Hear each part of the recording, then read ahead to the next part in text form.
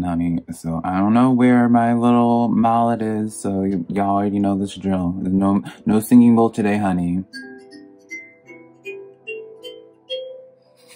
hey, girl. All right, hello, my beautiful Taurus. How are you doing? My name is Simply Velca, and today I'm going to be doing your ancestral messages this week. Uh, Taurus, I also do your weekly general tarot reading uh, for your zodiac sign, which I'll leave a link to over here. And I also just did your spirit guide messages. I'll leave all the links I do for you, Taurus, and through tarot readings over here for you to check out. But when it comes to any of my tarot readings, be sure to rely on your intuition, Taurus, because put it in perspective, I'm just a man reading some tarot cards to you. You know your situation better than I ever possibly could, so take the cards that resonate and leave what doesn't, because I promise you, I'm not going to be offended by it whatsoever. Now, if you find some cards that resonate with you, Taurus, let me know in the comments below how they do and what cards they do, because that's how I keep up with y'all through the comments, right? And also, I would like to ask for you, Taurus, to, if you would like to take that extra step to give this video a like and subscribe as well if you find some uh, tarot cards that resonate with you, because it does help out my tarot reading channel a lot, and I always am super appreciative when you guys take the extra time to do that for me. But yeah, Taurus, I just want to say one last thing before we get into your ancestral or ancestor tarot reading is that uh, I feel like any tarot reading should just be here to give you some perspective, some food for thought as you go throughout your life. I don't feel like any tarot reading should make a decision in your life because it's your life to live, not mine, not the tarot cards, not anybody else's, just you. So with that being said, let's get into your ancestral ancestor reading, my beautiful Taurus. We're starting out with this base spread here, and then I'll be pulling cards as I see necessary, Taurus. So keep that in mind. Uh, but let's start with your animal oracle cards. We have the Kiwi Spirit coming in for you, my beautiful Taurus. So this is a card, I'll read it out for you. Do a walking meditation every, every, I can't read that because when it's upside down, every day this week. So Taurus, when I see this card, this is more of like a push. I see this as for an individual to take some time, take a moment to pause. Now, when you get uh, called uh, to Taurus to meditate, that's usually how like I mean, the otherworldly will communicate with us is during that time when we are in silence, Taurus. So when your ancestors are asking for you to do a walking meditation, this is generally a time that you might even anticipate um, your ancestors making their presence known by leaving some breadcrumbs in your life, I always like to say. And by breadcrumbs, by just, you know, like leaving, that if you associate like a certain feather with your family, or a certain bird, or a bug, like a ladybug came to mind right now, right? Maybe if you were to go out in nature a little bit, you'll, or not even just in nature, but just go out, you might find these signs that they're walking, your ancestors are walking with you, Taurus. We also have the electric eel spirit, number 24, equaling to 6 in numerology, so write that down, my beautiful Taurus. And this card is saying, bring your ideas to life. So these two cards right here, this is definitely a calling from your ancestors, Taurus, to really think about your next game plan, I feel, right? It feels as if like for some of you Tauruses, you've been a little bit out of balance, perhaps, a little bit of, um, distracted. Maybe you have started to lose sight of your goals or where it is that you're trying to go. And now you kind of need to have that reminder. Or perhaps you could even take this in a way, depending on the messages um, that you receive in your, in your, when you connect with your ancestors, Taurus, that uh, they might be trying to lead you down a different path, but we'll see with some other, hmm, almost lost this card. We'll see with some other cards. Taurus, what is up with that? Um, we have the Lover's card coming in here. Now, this is the representation of big decisions. It makes sense as to why you're being asked with that Kiwi spirit, Taurus, to really start uh, take this time to really pause and think things through. I can't help but feel like, Taurus, that your ancestors are really trying to make a connection with you, to communicate something with you, to show something to you through meditation.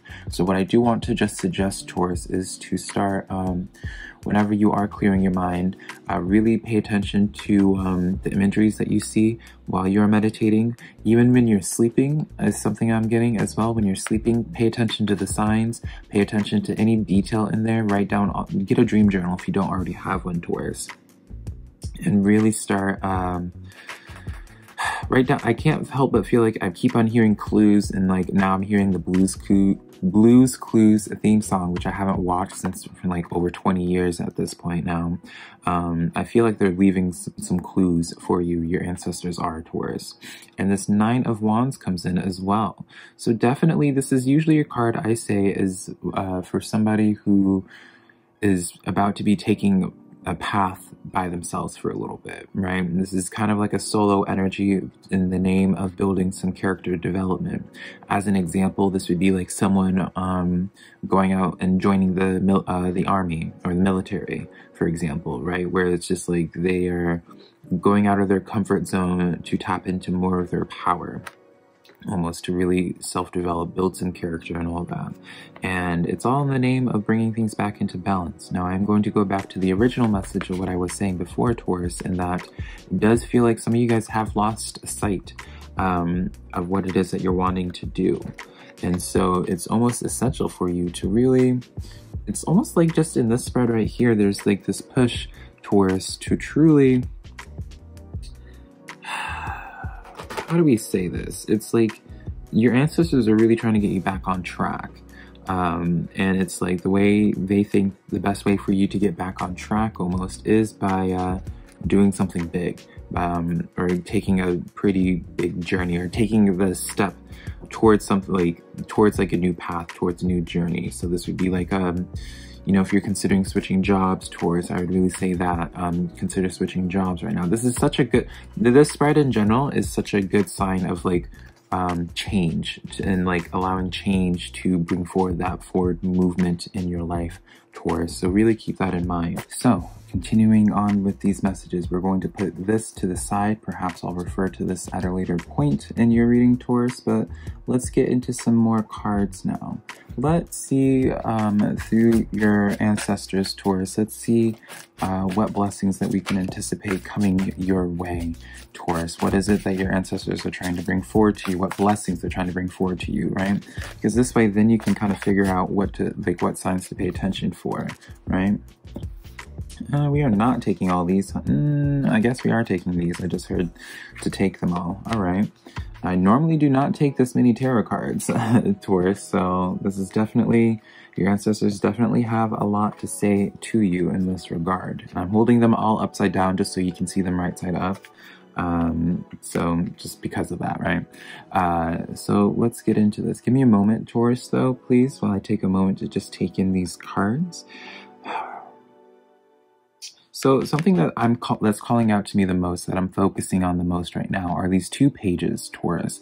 The page of wands as well as the page of swords. Pages represents new beginnings, Taurus. And so usually with wands, it's a new forward beginning uh, in regards to something that you feel passionately about. Page of swords is usually uh, a card of communication, a card of um, really uh, taking things and experimenting really is something that I'm hearing as well. Take this time to really experiment when it comes to some type of passion project of yours, when it comes to something that you have been considering for a while now, right? For this Nine of Wands coming in from before, I can't help but feel like this is part of this process where it's like this Nine of Wands moment ex uh, experience happens through this new beginning with these pages. And I feel like it would be really successful for you just because of the Six of Wands here as well. Now, the Six of Wands is a spotlight card, right? When you look at this individual, the spotlight's on her, her hands are up in the air celebrating. It looks like she's at an auditorium, but notice all the flames around there that's uh, encompassing that passion, right? Just a really passionate, successful card when you have this like cushioned in here with these two pages. So I really enjoy that a lot.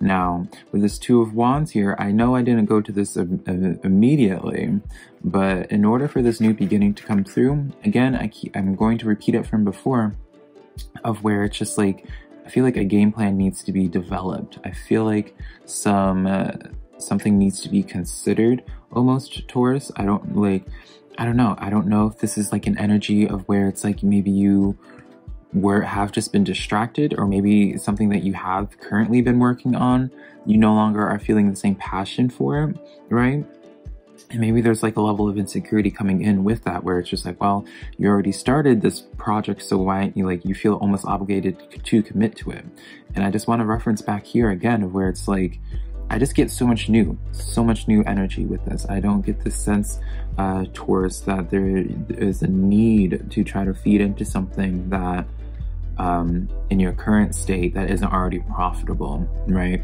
Now, I'm not telling you to just wipe your slate clean entirely. Obviously, neither are your ancestors, Taurus. But what I am getting is something's not working out. Something is like uh, trying to, if something's a little bit more difficult to come into fruition right now, or something just isn't work, yeah, just isn't working out, take that as a sign to move into a new direction. Don't feel as if that you need to just continue working harder on that one thing because it's almost like you're uh, banging your head against a brick wall. And some of you guys probably even feel that as well, Taurus. Now, with this Knight of Wands as well, this is what's really calling out to me. This is the energy that you really want to be uh, you really want to be exuding right now, my beautiful Taurus. This is a card of where it's like, um, you're going into like, you're taking this new beginning with these pages and you are excitedly going into this. You're delving deep into this. You're um, not looking back on it. But again, I want to keep in mind something that keeps uh, popping up in my head is like, don't expect things to be perfect right away. Don't expect this journey that you're taking right now to be just a completely just smooth sailing because that's just not realistic. That's not life, right? If only was that easy, right? Um, with this world card, this is kind of signifying to me of where it's like, you're going to be doing big changes. And when you want big changes, when you want big things to occur in your life, you have to break these cycles. You have to break these cycles, but not only you have to kind of make yourself uncomfortable. There's a quote that keeps popping up in my mind as well, Taurus, that I'll share with you. It's from an individual who I love so much named Lisa Nichols, and she has a quote that says, Your conviction doesn't lie on the same block. Your conven- oh, hold on, let's take that back, right? Your convenience and your conviction do not lie on the same block. And so essentially what that means is that like what you feel uh, passionately about, what you feel uh, that you really want to commit to, it's not always going to be convenient. It's not going to always be easy sailing. And so when you feel uh, extremely passionate about something, you kind of have to be willing to be inconvenienced. And this world card comes in where it's just like you have to be inconvenienced in the sense of breaking those cycles uh, and be open to huge environmental changes is something that I'm getting as well. So truly at this time, Taurus, I would say just as a strong suggestion to connect to your ancestors just on a personal level outside of this tarot reading, just because I really do feel like um, during these big changes, during breaking these cycles and all that, you're definitely going to need some type of support system with you, right? You definitely don't want to feel alone or left out in the cold at that time, very much so like a Five of Pentacles moment, right? Because you are absolutely not alone, Taurus, and I feel like you kind of need to be reminded of it. I feel like for some of you Tauruses, um, I'm getting goosebumps at this time, so I know it's a fact. Um, for some of you Tauruses, I feel like this is very specific message, but I feel like someone recently, I know this is an ancestor reading, and I guess it can be encompassing this as well, because they are your ancestors, but I feel like someone recently has passed in your life, or in the past, I say recently, but I mean like past couple years. Um, and they've probably been coming up in your mind really recently, and you've probably been missing them quite a bit. Um, and I feel like it's okay to mourn somebody, right? It's okay to miss somebody, but I can't help but get this message that they don't want you, Taurus, to be um, to just continue missing them, to continue living your life in a way where it's like you uh, feel as if you have to live uh, your life for them almost is, such a random message. It's almost like there's like this fear uh, with you, Taurus, of not wanting to forget about them, right? You don't want to pursue new opportunities coming into your life with this Knight of Cups because it's like you don't want to forget about some type of individual.